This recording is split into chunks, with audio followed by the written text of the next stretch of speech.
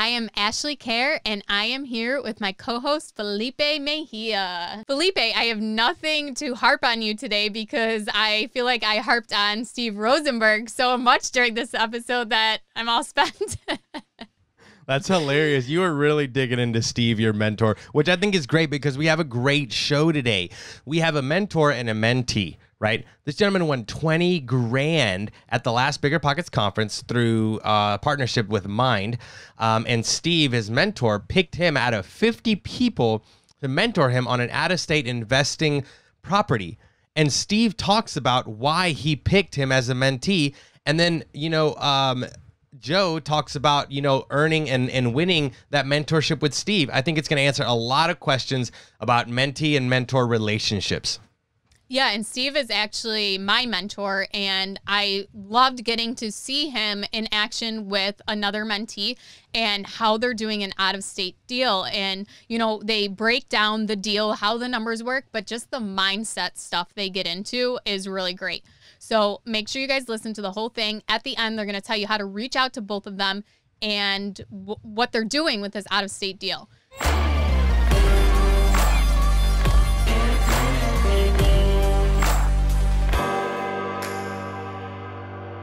Steve, Joe, welcome to the show, man. How are you guys? Great. Thanks for having me. Doing well. Thanks for having us. Super pleasure to have both of you guys on.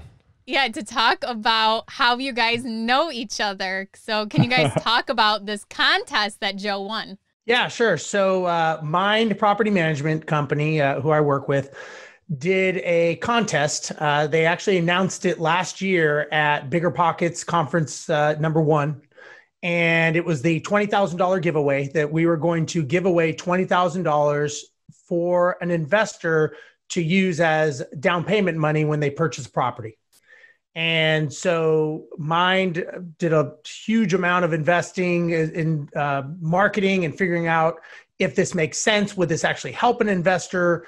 And the everything pointed to yes. So we went down the path of now figuring out who will win this contest. And so I believe we had, I'm going to say about 2,500 entrants, people that entered from the Bigger Pockets conference and people from other, you know, channels that came in.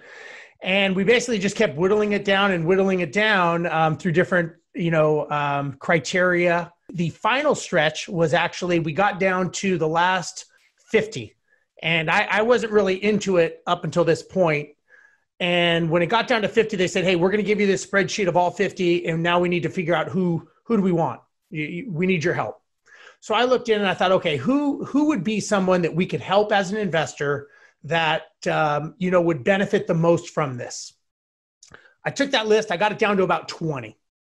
And good old Joe's still hanging in there. He's still hanging on on, on the list here. And the final 20, we said, okay, we're going to be doing a lot of videos with this person. We're thinking of doing a mini documentary. We're thinking of doing all this stuff. So let's make sure the person understands how to use a camera. Are they, you know, let, let's let's have them do like a quick five minute video or a couple minute video intro of themselves, why they want to win, and those kinds of things. So we go down this list of the top 20.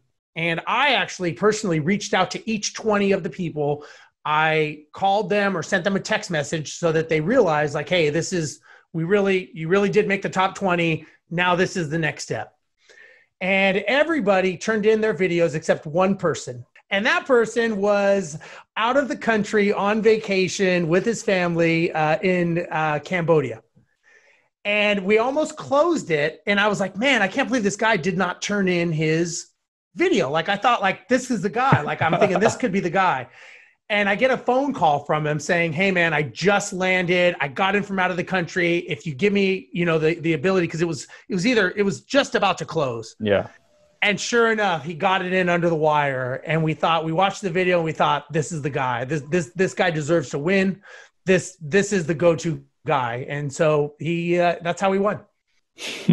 Well, Steve, first of all, I entered into that contest and I did, Did not really? know that you handpicked the person. And I, I'm just wondering, can you please explain why why I was not picked? Yeah, I think you were too famous already. You were you're already too famous, Ashley. That's awesome. So, Joe, tell us about what what that feeling was like, getting that phone call, knowing you were a finalist, and finding out that you won. I gotta say, like the initial feeling was was super excited.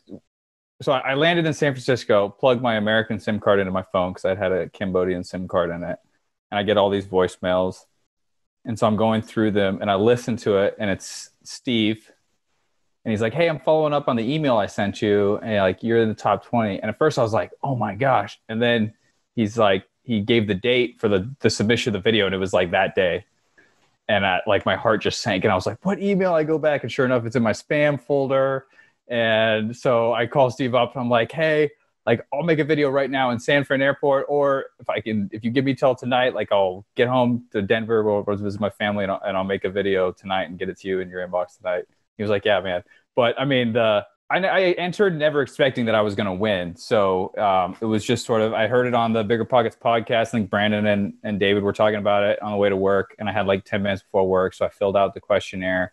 And then I honestly sort of forgot about it because I never win things like that. So uh, yeah, it was, uh, it was pretty incredible to get to the top 20. Uh, but uh, I had a couple more steps actually to get, to get through all the way to the end. But yeah, I will say knowing that you entered and that we're both sort of you know steve steve is steve is our mentor to both of us i am going to hold that over you for the rest of your life because As you should. chose As you should. over you Ashley. yeah, right, right, yeah. And I actually, the first time Steve and I ever talked, I had to message him on Instagram. He didn't even approach me. So, man, yeah, I definitely am low on the totem pole.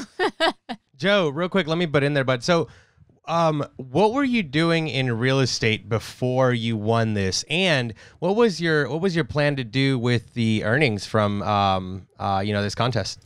real estate prior to that we had my wife and i've had a rental that we had was, was our primary residence. The marine corps moved us and we kept it kept it as a rental. So we've had that for a few years. And then in 2018 i went on deployment to afghanistan while i was there i started doing more and more reading about like real estate investing i actually tried to buy a few properties while i was in afghanistan it didn't work out and that's honestly probably for the better but i got back and then so this is fall of 2019 when this contest so I had just I was in the middle of the rehab stage on my very first BRRRR, a tiny little two bedroom, one bath here locally in Eastern North Carolina. So that would technically be my second investment property.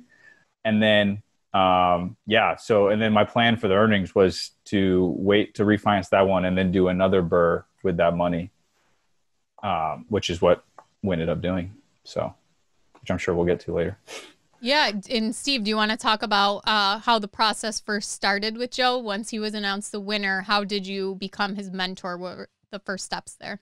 Yeah, so you know, I really thought of this as a great opportunity uh, with bigger pockets and, and Mynd property management to kind of come together. It's all about education, trying to help investors figure out this puzzle. And one of the things we wanted Joe to do was to be able to understand how to live in one place and invest long distance in another. And so that was kind of the strategy that we talked to him. And would you be open to this concept? If I coached you and mentored you through the process, would you be open? And he was he was all in. Um, and so what we decided to do was we were going to fly to North Carolina and meet Joe in person.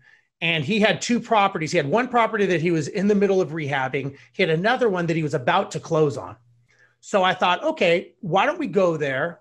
Let's meet Joe. Let's do a bunch of filming. We brought our camera guy with us did a whole bunch of filming. Let's walk the properties and maybe I can give Joe some tips and some advice on the property that he's rehabbing now on just things that I would do. And then let's go look at the property that he's going to buy and I'll give him my perspective. So we showed up in North Carolina, um, me, myself, uh, myself, Alex, and Dan, our camera guy, and we met Joe uh, and met at the property. Actually, they they met Joe the night before. I flew in from another destination. And I came in and met them the next morning. And we went to the house that Joe was in the middle of rehabbing, walked it. I gave him just my perspective of what I would do differently with this property or just some tips and tricks of things that I thought Joe was already doing a great job with it. He was already knee deep in this property. Um, a lot of tips and pointers all on film. Then we went to the other house that he was in the middle of purchasing, which subsequently he did buy. And this was more of a work, uh, was going to be more intensive. And then we ended up having a whole conversation on that. Uh, and then what do we do from there, Joe? Before we go on, Joe, let me let me butt in here. I do have a question that I know that our listeners are going to want to know because we always give advice on how to be a good mentee or how to follow through or how to add value. But let me ask Steve. Steve, you had 50 people that you had to pick from. If it wasn't going to be Joe, what in your mind was your criteria to picking a mentee? Because I know that our listeners are all going to probably be close to Joe's spot and they want a good mentor. But what in your mind said Joe stands out? Well, first, uh, was not Ashley. No, just kidding. um, Great answer. first, Done. first and foremost. Uh, no, you know what I was looking at is is from my perspective, I've, I've helped a lot of people and I've mentored a lot of people, and I thought, okay, can I add value? To what this person wants to do. So, if they want to flip a multifamily complex in Minnesota, that's not my specialty if somebody wants to buy something that I'm an expert in and that I know that I can help them, and are they open to doing what we needed them to do? Meaning, did they have the financial means to buy a property? And Joe had the financial means. This was helpful, but this was not the only money that he had to invest in real estate. So I can't help someone if they don't have the the assets and the tools. So what I look for is number one is someone coachable are they willing to listen to what I have to say and my recommendations? They don't have to do it, but are they open to listening to another way of thinking? And do they have the assets to get the job done? They don't even need to have done a deal yet. My thing is, is I can teach anyone to buy real estate. And as we hear this story, I mean, we we bought a piece of property. Uh, Joe and I did sight unseen. We can do all the mechanics, but do you mentally have the ability to do what I ask you to do and are you going to stick to it and that's that's what I look for in someone and you can see by the words people say right their vocabulary and the words that they talk about and their goals and their strategies is that something that I can help them with or am I not the person for them and and that's why if I was looking for someone else another Joe I would say can I actually add value in this person's life um, are they someone that we can help become a better person because of it or is this just going to be a waste and they may lose the house down the road? So that that's what I look for. Good, that's perfect. I think a lot of our listeners want to know that. They're, you know, a lot of them uh, are probably starting out, and they're like, "How can I add value to to to a mentor?" But not just that. You know, you have to be coachable right? And, and, I feel like maybe Joe was that, right? He was probably coachable to you. You accepted the task because that's what it was. I'm sure you had to put in work as well, but you saw that Joe was going to reciprocate positively and take your words to heart. Because if not, you're just beating a dead horse. Well, yeah, and you know, look, at the end of the day, Joe Joe is you know out there fighting for our country. You know, it, it, I think that he deserves, to me, uh, the respect to to give him my time and if he's willing to do what I ask, I'm willing to do what what he needs, and I'm willing to step up and and do all the things. And Joe and I have had many many conversations about many things. But it's uh, to me it's important. If somebody you know it's not always one sided and it's not always some people ask for a mentor and they think just because they pay me money or they want to pay or whatever the case may be that that gives them the right just to do it. I, I don't need someone I want someone that's willing to do the work and that, that has their heart into it. That's more important to me than than any financial means, in my opinion. I love that. I love that. What is the structure of the mentorship now? So, how often do you guys talk? I mean, is it just um, a weekly meeting? Do you guys text? What's kind of involved with your mentorship agreement? All the above. Yeah. um, but uh, I would say the way it started. So let, I'll just finish when we went and we saw Joe at Camp Lejeune. Um, I had the opportunity to talk to the military squadron, his squadron. A lot of people wanted to know about, you know, being an airline pilot as well as real estate and how it ties in. So Joe set up that I could meet and talk with a lot of the guys, which was really, really cool, just giving back. And then we we talked, Joe and I talked a lot uh, as far as what is the strategy going to be and how do we get this going. So we we kind of laid out the the the footprint, and the the answer was is I'm not really sure how we're going to do this, but you know, I'm I'm here. I'm here at your disposal.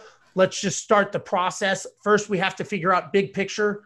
What cities do we want to invest in? Um, we obviously we are wanted him to invest in a Mynd market, preferably because that's something that we can help manage the asset and we can have boots on the ground, which came into play downstream. And so we started off with what cities does Mynd manage in, and are they investable to his goals, and do they align? Did you guys figure that out together, like analyze each market together, or is that something Joe went and did and then kind of brought it to you and you gave your opinion on? It was more the latter. Like he, yeah. Steve would give me homework essentially. Um, yeah. That that we would talk about, and then I would go put in the legwork and the effort and then bring back Steve knows now like I'm a spreadsheet guy. So I'd usually bring him back a spreadsheet yeah. with all my research. And then we would have coaching sessions that we would do uh, probably about bi-weekly, about every other week, a couple times a yeah. month. And then we'd talk through sort of what his taskers for me had been and what, what was the next steps, actionable items. Yeah, and, and what I wanted him to do was I wanted him to basically prove to me why he wanted to invest in a certain market, explain to me why that made sense to him. And it wasn't an emotional decision that the numbers were dictating the deal. And then we had to go through, okay, now that we know what market and that aligns with his goals, now we got to figure out the strategy and then the tactic of the actual property. So we you know, we did it backwards. And every time that we would talk, I would give him homework. And some of it was kind of a little bit off center where he had to actually figure out where does his time go in the day because he's not able to analyze the deals. So then we had to figure out, okay, where's your time going? Why do you not have time? And so, you know, a couple of these, even though it's, you know, like a karate kid, right? He's waxing the car. He doesn't understand why he's waxing the car, but it helps him downstream. So when he was able to understand where his time went, he was able to all of a sudden segment that off to be able to find deals and be focused when he's looking and it's not a sidetrack. So using leverage and a lot of other things are, are part of what I wanted him to learn. Steve, what's your advice for someone who wants to do the same thing? They want to figure out where their time is going. What's something they could do for that? You know, I, I used to have a hard time understanding this process because it's it's it kind of is like sand, right? It just drips away. Uh, the best thing I would advise someone to do when they're trying to figure out, you know, a lot of people are very reactive in their day, meaning the day is gone and they don't know what they did and why they did it, but they know they're tired and they know they put out a lot of fires. Is to start tracking. Like if you want to figure out where your money's going, you go on a budget and you start writing down all of your money. If you want to go on a diet and lose weight, you start tracking down what you eat. If you want to see where your time's going, start writing down from the time you wake up to the time you're done with the day, write down everything you do. Then at the end of the day, totalize what each project was so two hours email one hour social media whatever it is and write an executive summary at the end of the day as to where your time is going and that executive summary makes you basically write and realize where your time is going and if you do that for two weeks I guarantee everyone who's watching this, if you did this for two weeks, you would be shocked that you would realize, wow, I'm spending a lot of time doing this, a lot of time doing that. And is that even closer, taking me closer to my goal, or is it taking me further away from my goal? So just writing it down and seeing it on paper and writing that executive summary, I'm a big believer in accountability. So having someone to actually give it to, whether it's a spouse, whether it's a, an accountability partner, having somebody make sure that you give it to them is essential to making this work. That's really smart. Um, I, I got a friend, Diego Corzo, actually has a net worth tracker and he is annoyingly with it. I mean, weekly he'll look at it and he'll plug and play. And if he has a month where his net worth didn't go up, he goes back and figures out why. And I think that's probably the same thing with our time. If we can go back and check, like you just said, what did we do this last month and what was productive and what wasn't productive, then it's keeping yourself or someone else helping you keep yourself accountable to what are you really doing with your time? And that goes the same thing with your money. What are you really doing uh, with your money? And before we move on a little bit to the rookie deal that we're going to talk about um, joe can you give us a little bit of your background? You know what is it that you've done? We've talked a little military um, what else though give us a little background on yourself there yeah so broad strokes i was born in colorado i lived there till i was uh, in my early teens and then my family moved to cambodia parents were missionaries. Um, my dad worked for an organization that combats human trafficking there. I, so I spent my high school, middle school, and high school years in Cambodia. Came back to the States for college. I went to the uh, Naval Academy um, and then commissioned as a, a Marine Corps officer in uh, 2012, that was. Uh, after basic training, went down to flight school in Pensacola, Florida. That's where we bought that first house that is is now an investment property. My wife and I. I got married right after I graduated, um, and then hopped around to a few different duty stations with the Marine Corps until we ended up here in North Carolina. And I am a uh, Cobra attack helicopter pilot. Is my uh, my primary job in the Marine Corps, and then. uh, but that I'm, sounds yeah. that sounds really like BA, dude. Like I would say that at every bar. It is cool. we did we, we did get to check it out. He gave us a tour. I gotta say it was pretty cool. I, I almost couldn't get out of it, but it was pretty cool to get into it. You had to pry Steve out of it. Like get out, bro. It was it was a tight fit getting in there, but yeah. very, very cool. Yeah. Guys, Steve's That's not supposed to be uh, attack helicopter pilots. Yes. no. no. But uh, that's hilarious.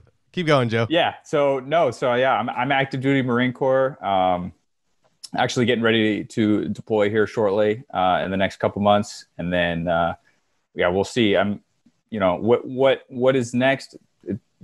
I sort of keep all doors open at all times. So whether or not I stay in the Marine Corps till 20 years or or I get out and do real estate investing full time, um, I sort of just keep all doors open and, and, keep going towards my goals. But the eventual plan uh, is to get out and do you know do real estate full time. But uh, for now, I'm very much enjoying uh, my job in the Marine Corps. Although, you know, the, the longer you stay in, the less fun stuff you do and the more paperwork and desk stuff you do. So I think at the point where it's no longer fun and I'm no longer enjoying it, that'll probably be the point that I that I get. And out. what you're doing is building that option for yourself so that when you are ready to retire, you can with exactly. Exactly. I think one thing to point out here is while we were in North Carolina, uh, we had a really good conversation and, and we got it on film too of talking with Joe and his wife about, you know, this is something that I think is important for all rookies out there getting into real estate is making sure that you have alignment with your spouse or significant other.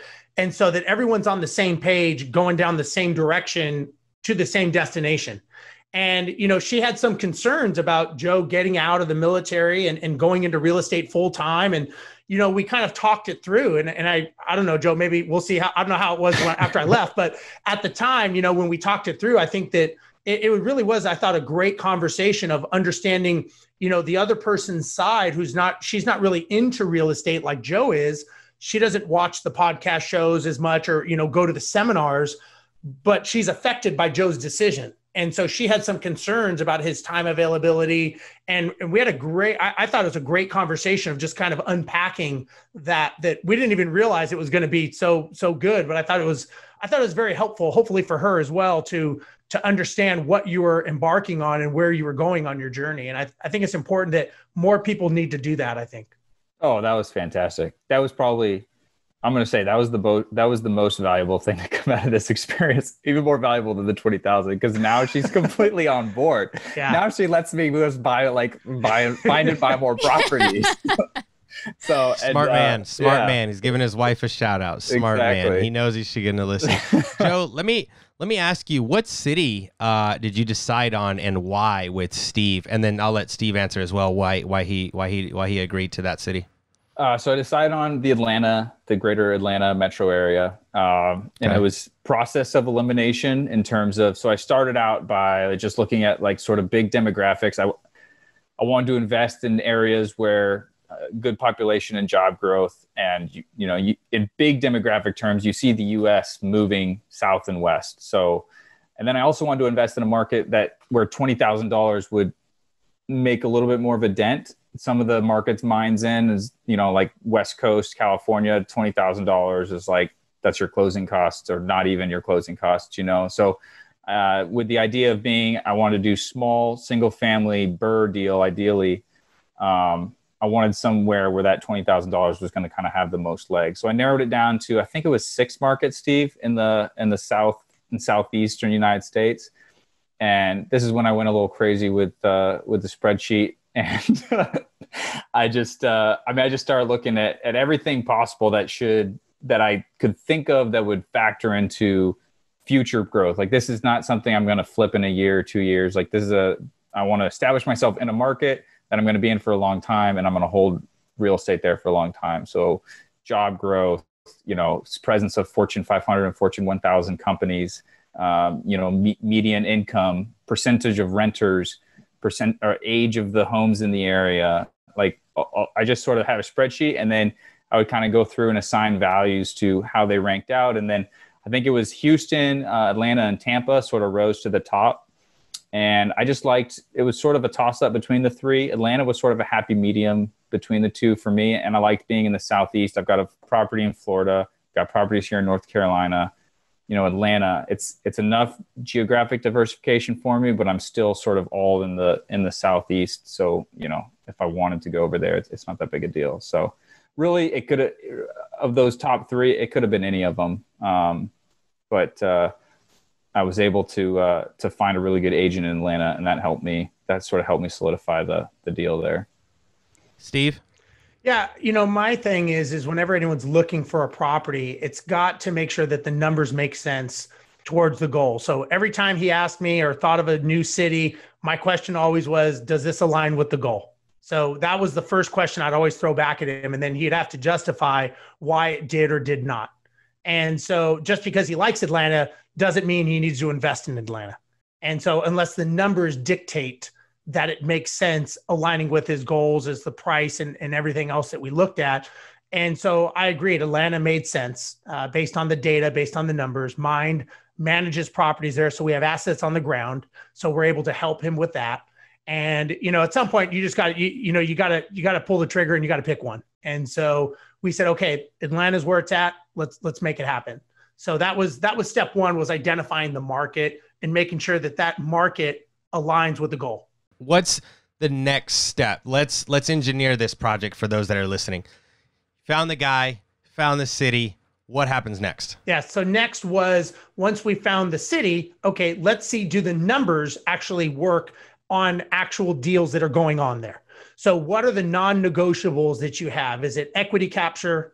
Is it, you know, he wanted to BRRRR the property. So, we had to look at that ratio of what he was going to get it for, the hard money, you know, how he was going to acquire it, what he was going to do next. Uh, and so, we went through that mental mathematics on these deals. So, he had, I think he had what, Joe, about 12 deals on the spreadsheet that matched what yeah. criteria Matt, you know, was was good for you. And that what's important to understand here is just because this works for Joe, this may not work for someone else because the numbers may not make sense towards their goals. If Joe had a three-year window that he wanted to get in and out, this Atlanta may not make sense. It may be a negative geared high appreciation area as opposed to what Atlanta did for him. So just because Joe's in Atlanta, I don't think everyone needs to rush to Atlanta if it's not aligned with their goals. And that was the one thing that was vital that I made sure that he understood. Um, and then of the cash flow, equity capture, um, other variables, which one is the most important? Because you're not going to get all three. So then we he had to split up and say, okay, this one I'm capturing this much equity, but I've got a lot of rehab costs. And what are the days on market? So I told them, you know, we need to look at these variables. You may buy this property thinking days on market are five days, but maybe it's really 60 days. So we need to think of all these variables in the new city that we're in and in that sub market because Atlanta's a big city. Now we started digging into where in Atlanta because just like all cities, they have high areas and low areas. And what we had, I think we had two deals fall out because of other stuff. So we had to kind of keep massaging this to make the deal work. Yeah, we we went under contract twice, um, and then pulled out of both of them. Those good learning experiences, though. Yeah. And why did and, you pull out of them? Uh, well, ins- uh, inspections for both of them, uh, okay. which is why I highly, highly recommend getting an inspection done. I don't, I'll never buy a house. I, one of my first deals here in North Carolina, I, I didn't get an inspection done, and it cost me money, and I'll never not do that again. And it saved me on two deals in Atlanta. Um, one of them, it had rained all weekend prior, and it hadn't rained in like three weeks there. And when the inspector went right after the rain, we found out that the the basement was flooding, and we would essentially have to like regrade all of the all of the around it, and it just blew that budget out of the water. And then the other one um, just found a lot of stuff in terms of uh, it would need to be like rewired and replumbed stuff that my agent hadn't seen on walkthrough. So once again, it just blew the budget up. We went back to the sellers. We're like, hey, this is what we found. Like requesting to drop it to here. They didn't want to, so we're like, okay.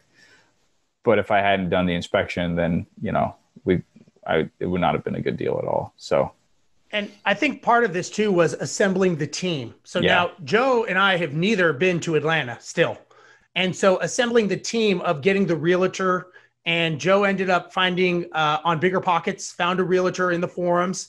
And, you know, we started grouping the team to having conversations of who does he need to have on his team that understands where he's going as the goal and making sure that everyone is in line with what we wanted. So that if you're going to invest in another city, you really got to think about where is your team, who do you need to have on that team, and are they aligned with your goal? Now, this guy didn't know Joe, he didn't know anything about Joe, but he was aligned enough to do what we asked him to do based on what goal uh, Joe's goal and strategy were.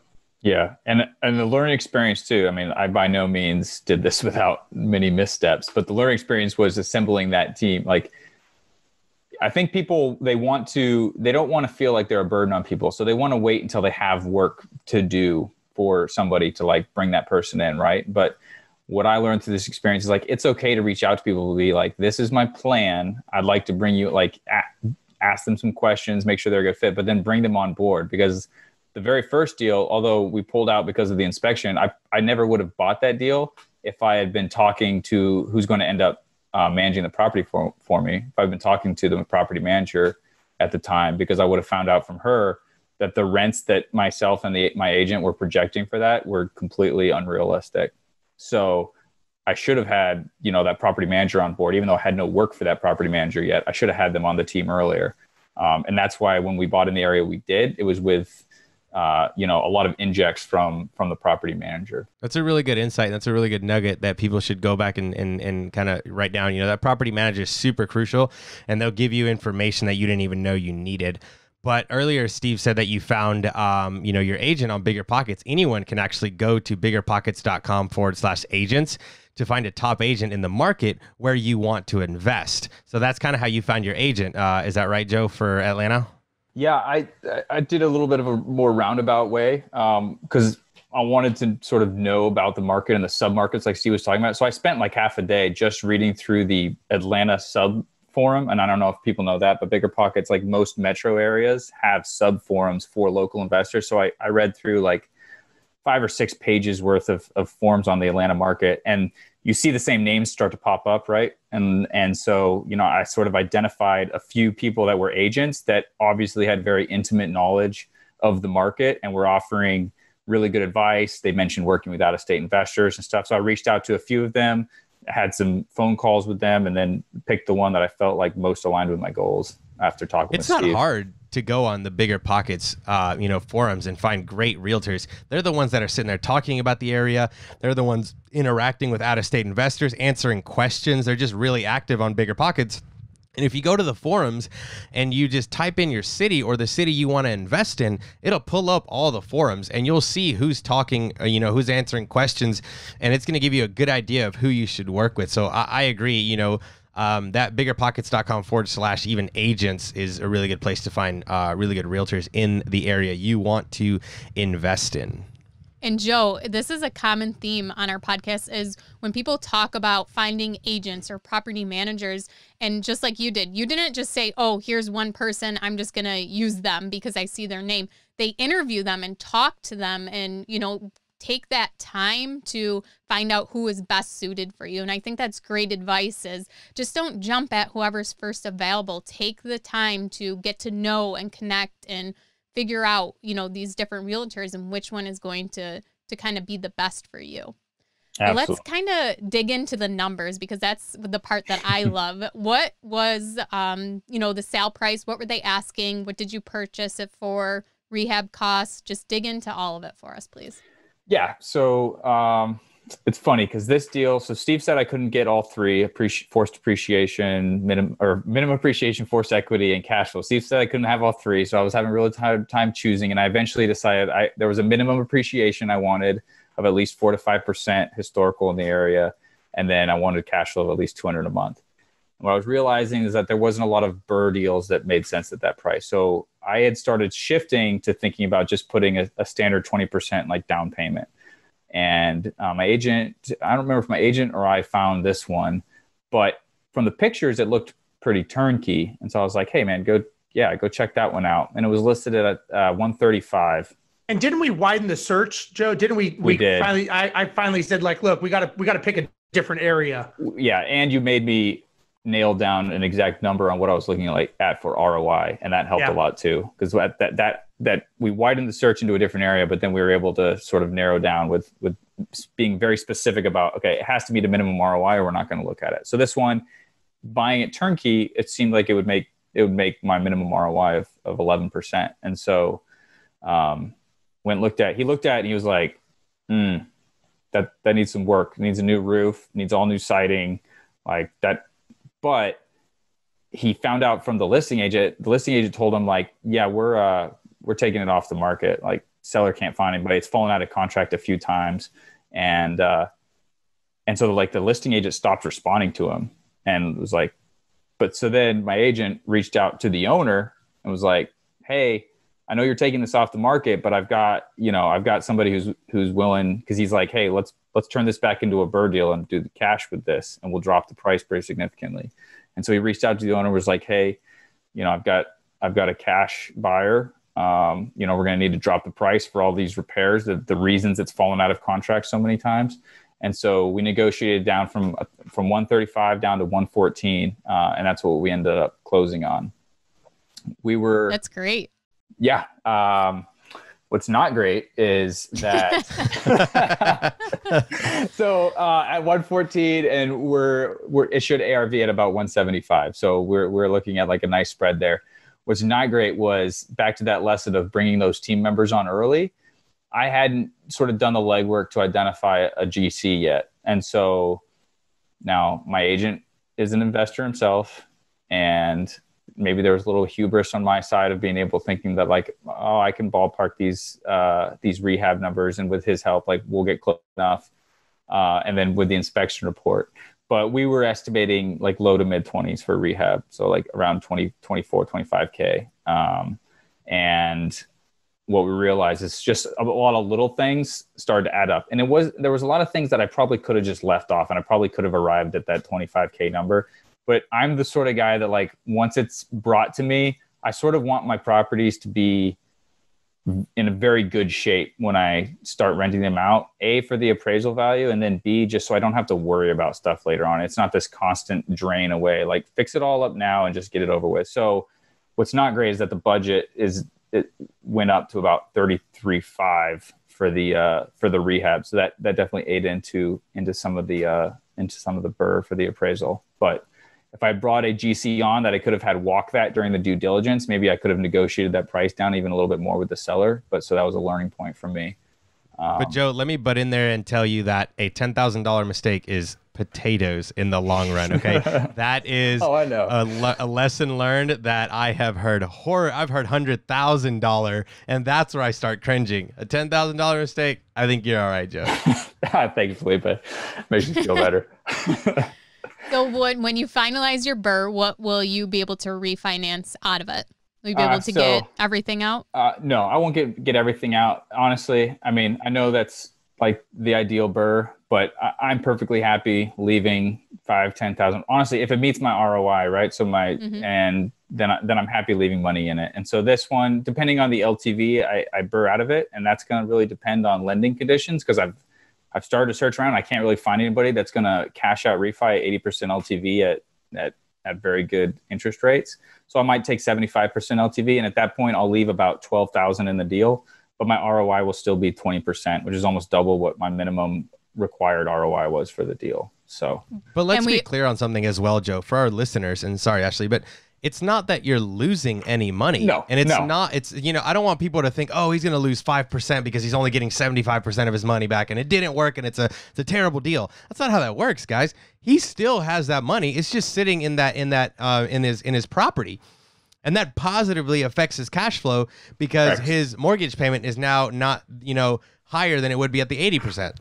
So it's not like he lost anything. It's just sitting in the deal. And I'm okay with that as well, 100%. right? That means you're not as leveraged as you would be at 80%. So I mean it's it's it's still, you know, you took action and you listened to your mentor and uh and, and I kudos to you, man. I think that's great. Even if it is at 75%, I would still take it.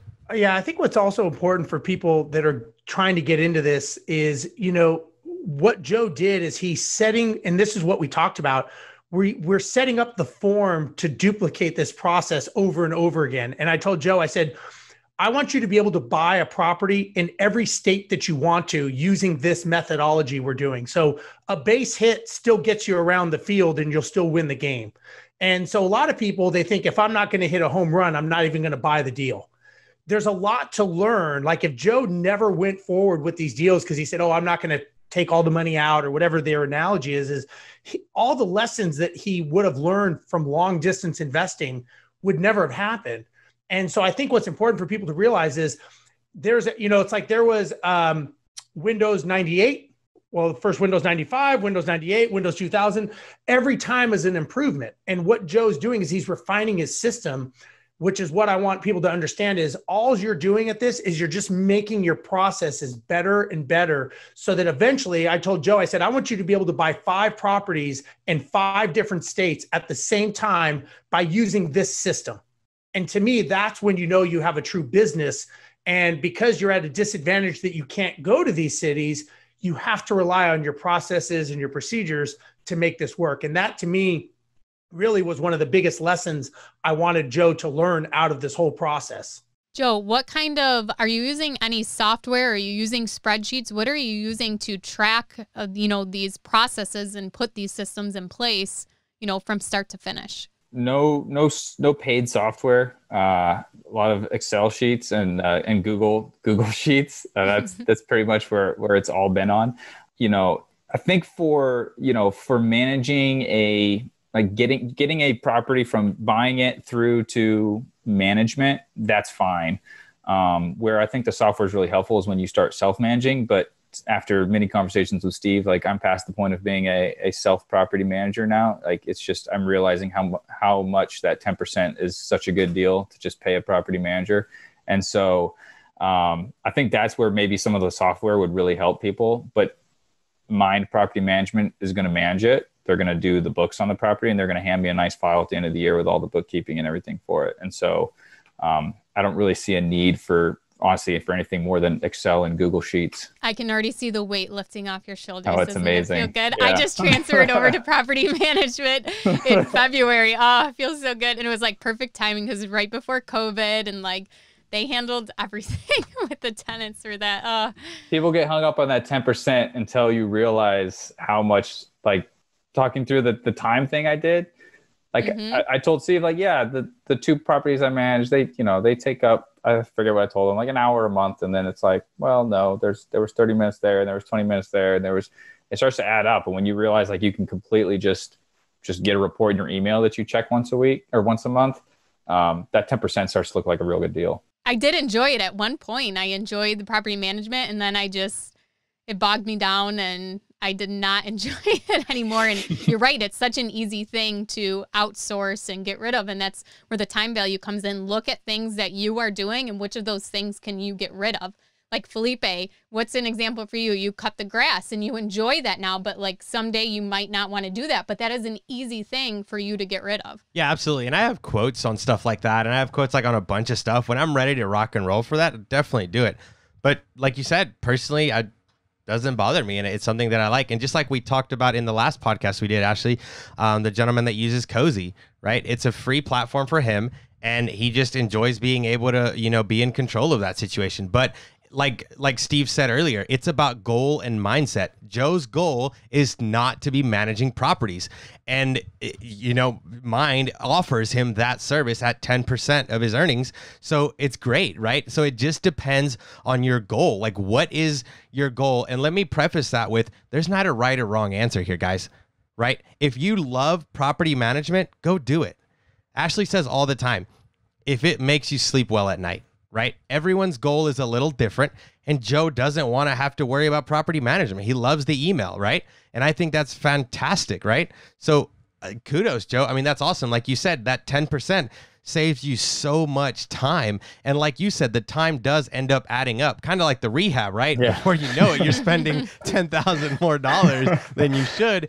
That's probably what happens with property management. We think we're just doing three hours, but in reality, it might be like eight or nine because we're not yeah. calculating all the cost. Well, and I think that, you know, from owning a management company before and, and working, you know, with Mynd, I think one of the things a lot of people when they're getting into real estate and they buy that property, you know, they they a lot of people feel that's the part that they should do. They feel that, well, I, I own the property, I should at least take care of it because it's just collecting the rent.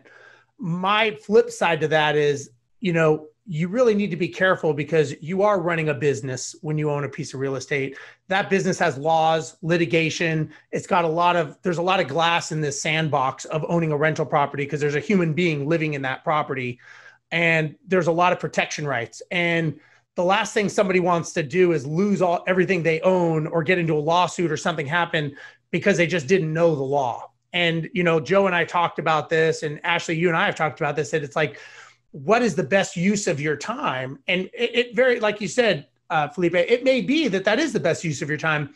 But if you do it, make sure that you take it seriously, know the laws, know the regulations, and don't put you, your family, all your finances in a bad position because you didn't take the time to know that there was a new, you know, I mean, especially we've got COVID 19 going on, right?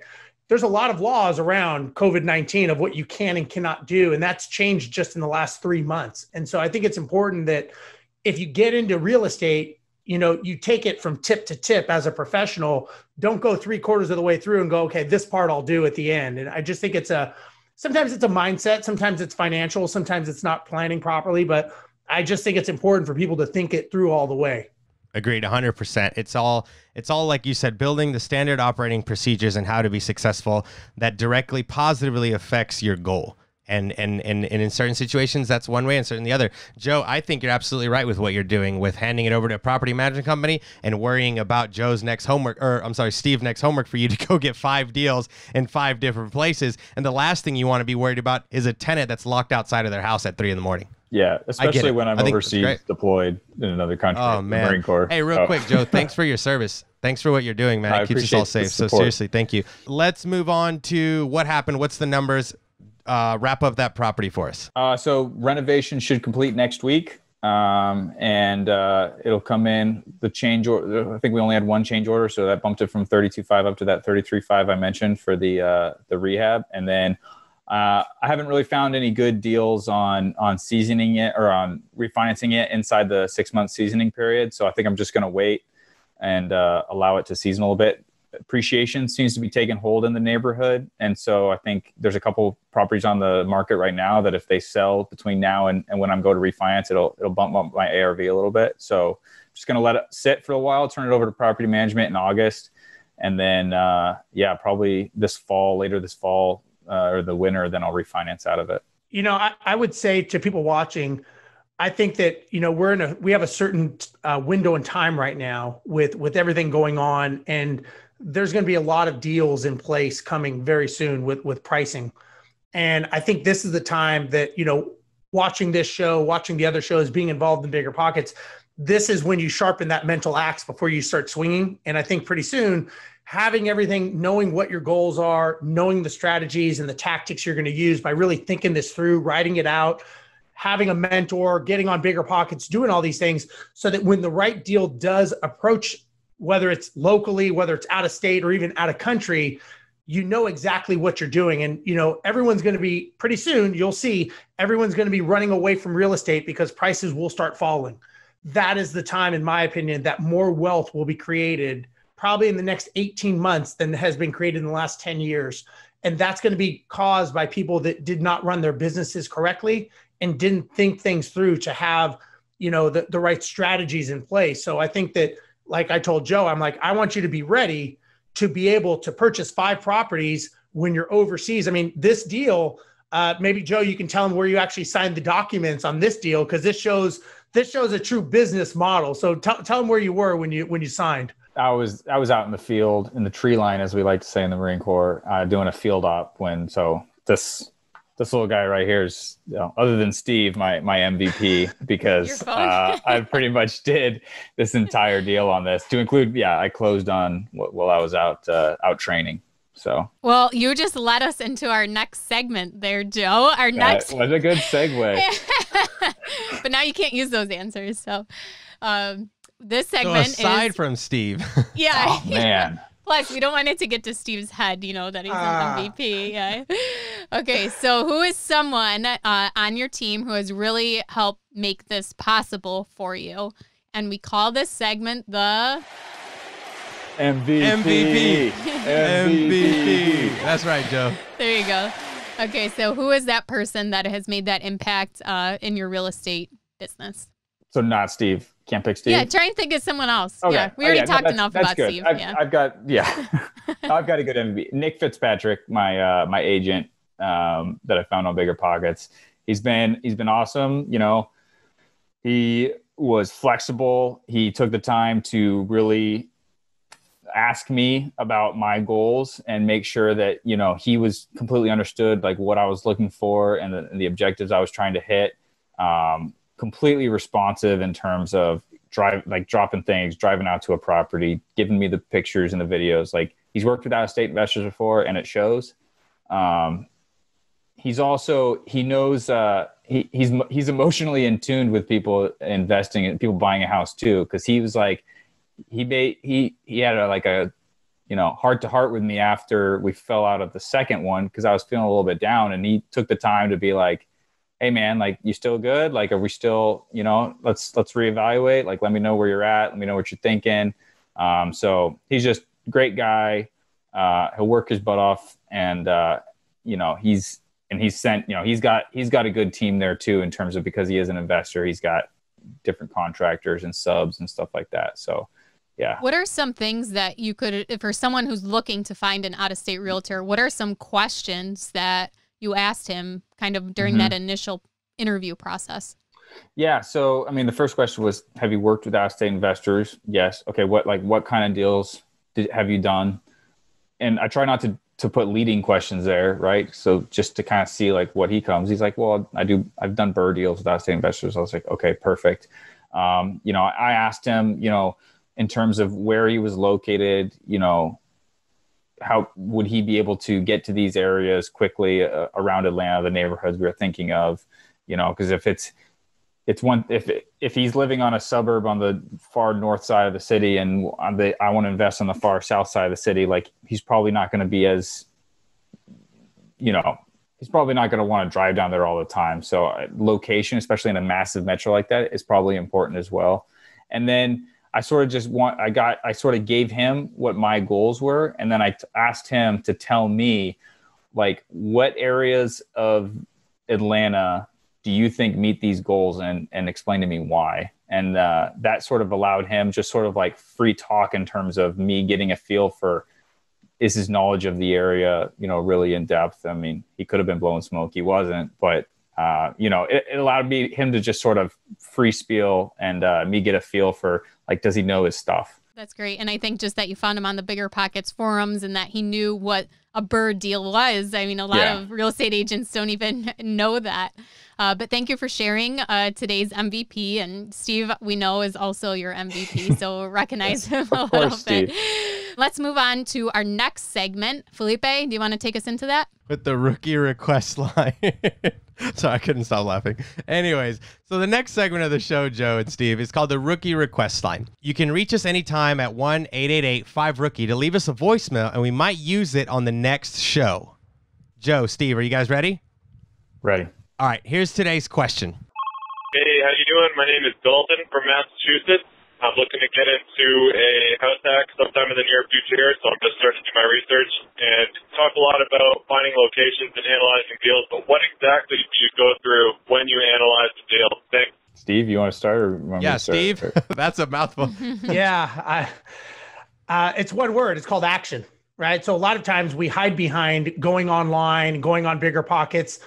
I didn't hear anything about what action he could be taking. Action could be actually making phone calls to sellers, knocking on doors, uh, doing actual things to make uh, you know uh, an improvement on where he's at. So my advice would be come up with a plan, right? Really sit there and say, what do I want my life to look like as a result of owning real estate? What is my end goal? And once you know what that is, it could be a certain amount of assets, it could be a certain amount of cash flow, but really take the time and figure that out. Once you know what that is, Now it's a matter of opening the front door, walking down the steps, and, and making it happen. And a lot of times we get so caught up in spreadsheets and conversations that we never actually just get it done. And you know, Joe's a great example. Joe Joe had the spreadsheets, but Joe was out there doing all of his homework, taking action, and that's the biggest hurdle most people have to overcome. It's like a, getting a locomotive to move down the tracks. You just got to get that momentum going, and once it goes, it'll it'll happen. Getting that action going is the hardest thing. And I'll uh, add to that by saying, you know, I may have done this this deal completely virtually. You know, I've never set foot in Atlanta and and whatnot. But for that first deal, there is if you're having trouble you know getting started there is something to be said for um, physically meeting with somebody who's going to push you into that action and being uh, you know held accountable. I think what that looks like in many cases is finding that you know real estate f- or investor friendly real estate agent and then actually taking the action of going and looking through how at houses with them. What that did for me when i when i did my very first pre-deal because that was sort of what got me um, into that first step because I also sat around for a while, did a lot of reading and research before I ever did my first BRRRR deal. But it wasn't until I realized like I went and met an agent, started walking through houses, and then realized like, well, I'm this person is doing this stuff for me, and like I I don't want them to work for free, right? And so that and that like putting a face it's, it's easy to like oh yeah i meet with somebody on the bigger pockets forums or we or we message on instagram and it's like oh we connected but sometimes for that very first deal, maybe what you need is go meet that person who's going to let you achieve or help you achieve those objectives and realize like they've got a living to make. And if you if you feel a little bit of responsibility for not wasting their time, maybe that's what pushes you into that next step. And just putting in those lowball offers. Yeah. I mean, you might take offers. a deal just practicing putting in offers in you'll you know, maybe you'll get something if you're you know, not finding deals. You're he's obviously analyzing them. He's got his per- spreadsheets, and if you're not confident, you know that it's working based off the purchase price, then lower your offer so that the deal does work for you. Well, and I think the challenge is is people do what they should, not what they must. And so if if he had an account, if he had someone holding him accountable and said, "Hey, by next week, you better have 50 phone calls made." He would probably make those phone calls. If I said, if you don't do it, we're done talking. That's it. He'd probably get them done, right? If it was like, well, maybe you should, but you probably got stuff to do and you're in San Diego, so you can go hang out. Maybe you should, maybe you shouldn't. It's not a priority. And so when your should becomes a must, that's when action starts coming into play. So it's just, it has to move up on the priority list to make action actually happen, in my opinion. That's great advice, Steven. Steve actually did that to me on the time blocking thing. He told me if I didn't write down my time every day, he was not going to talk to me again. That's right. yeah. And you got it done, Which, right? But you got yeah. it done. And now it's like, geez, what a big regret. I should. yeah. You, you can't roll back time. Yeah, yeah. yeah. Okay, so we have a, a few questions that we like to ask at the end of the show. So, Steve, we had you on before, so we're going to ask these questions to Joe to get to know you. Um, Felipe, do you want to go ahead and take the first one? Yeah, I'll take the first one. Hey, Joe, what is the biggest piece of advice that you would give a rookie that you took from Steve? Man, the biggest, biggest lesson learned from Steve. I think the biggest lesson learned, and we've sort of touched it multiple times, but just to make it concise is is you got to build the team. Um, and that and that goes not just for out of state real estate investing but that's for local real estate investing. Like everybody's got most people have a w2 and even if you don't have a w2 you don't know all the aspects of what there is to know about investing in real estate. So if if people are looking for next steps you should be looking at who do i need on my team and how am i going to get them uh, and that goes for deals in your local area or deals out of state Thank you for sharing that. Um, I think after listening to this episode, a lot of people are going to be looking for a mentor and someone uh, to help them get that first deal done. And I think even just throughout the show, you gave a lot of advice as to how to add value to your mentor and how to be a good mentee. But now let's move on to the super fun rookie hazing. And uh, I know Steve will probably help you out here, but what oh, song is your guilty pleasure? And can you sing a few lyrics for us? Okay, so i uh, big fan of the show. I've loved all your guests, but if I have a bone to pick, I would say that some of them are not putting the guilty into the guilty pleasure part because some of them have picked like genuinely great songs. Some of the songs that, are like great music. You know, you are Um, absolutely right. Yeah. The song, the song that I'm about to butcher, no self-respecting Marine should ever sing in their truck on the way home from work to. And I'm ashamed to admit I have from time to time. So uh, Steve can join me if he wants. We don't have to because he's he's sort of like the VIP here. But uh, call me. Oh maybe- no! Oh no! No! No! No! No! No! No! No! No! No! Wait a minute! I don't a minute. know, we Steve are would not the letting. Steve No, out of this. He's not Yeah. a rookie. It's No, rookie no, hazing. no. It's rookie hazing. that's I got to look out That's for my okay. mentor. I Call may be me too old to even know what this song is. Okay. Go for it, Joe. Call Me Maybe by Carly Rae Jepsen. You know it? Oh my! yeah. No, I never even heard it. Yeah, sure. Okay. All right. All right, here we go. hey, I just met you, and this is crazy, but here's my number, so call me maybe. It's hard to look right at you, baby, but here's my number, so call me maybe. Yay. Yes, good Joe, job. That was awesome. you know this and is I being recorded, you, right, Joe? yeah, unfortunately. Now Steve does Steve's know gonna that hold song. that over your head. Yeah. Uh, Steve, can you tell us a little bit about where everyone can find out some more information about you? Sure. Uh, well, if they want to know more about Mynd Property Management, they can go to mynd.co, M-Y-N-D.co. And uh, we are in 16 different markets across the U.S., managing uh, about 7,500 properties. So uh, we do have a platform to help you find properties. We've got all the teams in place to, to help you, just like we've helped Joe.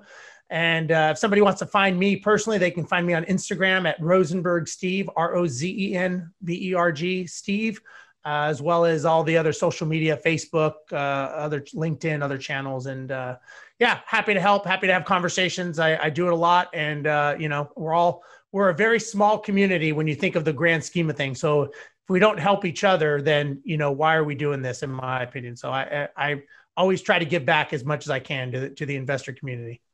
Yeah, and as much as I've been hard on Steve during this uh, recording, he really does take the time to, you know, help as many people as he can.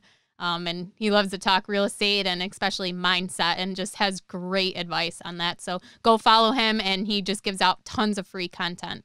Uh, Joe, what about you? so you can find me on Bigger Pockets. Uh, I'm relatively active on there. Don't post a whole lot, but uh, I, I, I do message a lot of people on Bigger Pockets. Uh, I'm on Facebook mostly just to be in uh, actually the Steve's uh, investment group. It's not, it's not Mastermind. You just changed the name. What's what's the name now? Think tank, think tank, Think real Tank, estate. there we go. yeah. So Steve's think tank, and then also the uh, the rookie uh, face the rookie podcast Facebook page. But I'm not super active on Facebook. Instagram is probably the best way to reach out to me. Um, at Devil Dog Investor is my uh, my handle on Instagram. So message me on there or, just uh, follow me.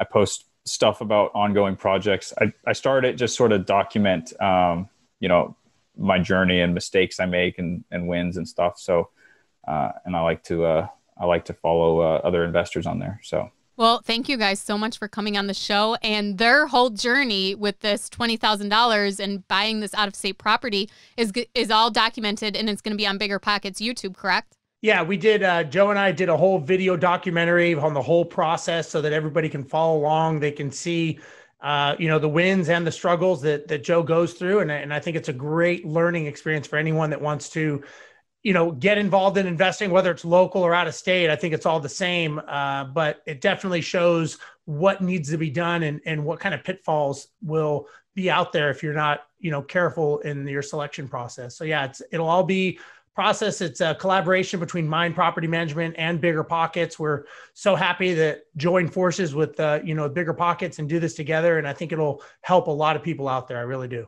Well, thank you guys so much for coming on the show today. I'm Ashley Kehr at Wealth from Rentals, and he's Felipe Mejia at Felipe Mejia REI.